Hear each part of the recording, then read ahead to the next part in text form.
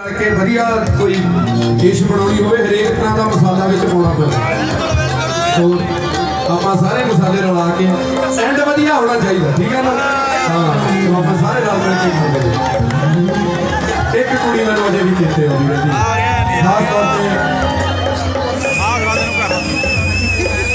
ਉਹ ਜੀ ਹੈ। ਆਪਣੇ ਕਈ ਬੇਗਾਨੇ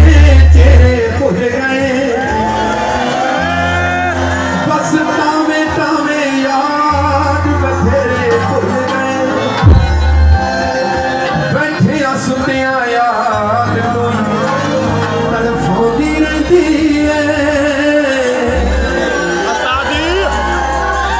ਇੱਕ ਕੁੜੀ ਮੈਨੂੰ ਅਜੇ ਵੀ ਚੇਤੇ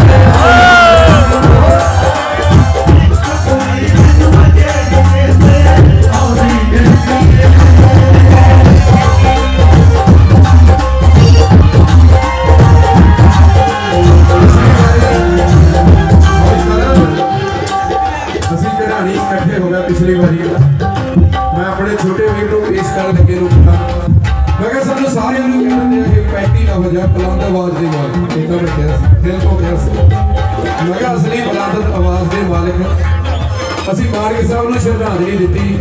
ਡੀ ਸ਼ਾਰਪ ਤੋਂ ਰੱਖਿਆ ਸੀ ਫਤੋ ਉਤਸਵ ਵੀ ਰੱਖਿਆ, ਦੂਜੇ ਕਾਲੇ ਤੋਂ ਰੱਖਿਆ। ਪਰ ਸਾਡਾ ਭਾਈ ਉਥੋਂ ਉਬਾਰ ਕਰ ਗਿਆ।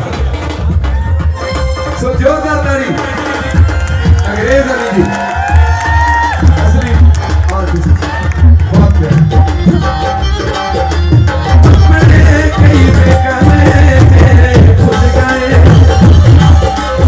Africa.